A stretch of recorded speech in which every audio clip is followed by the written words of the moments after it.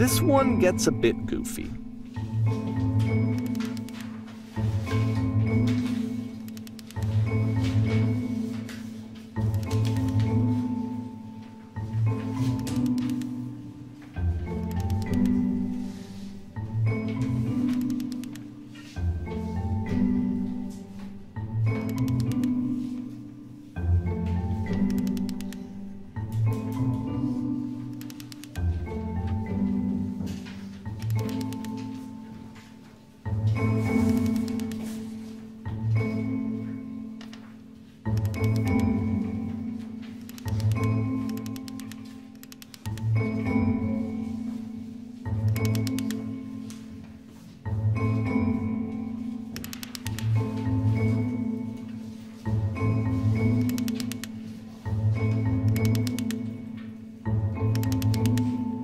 About halfway through the game, the perspective shifts.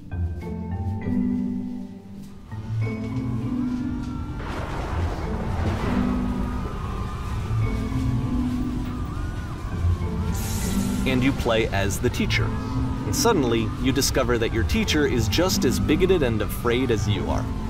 Oh, and also you can move around the classroom now.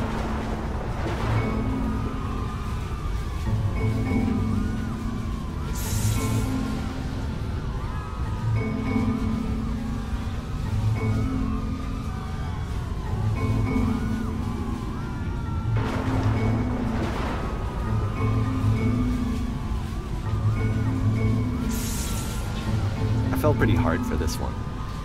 I feel like it's one of the most relatable experiences that you can have. To uh, assume that some other person is perfect and totally fulfilled in every way, and completely miss all of the little flaws that make them painfully human.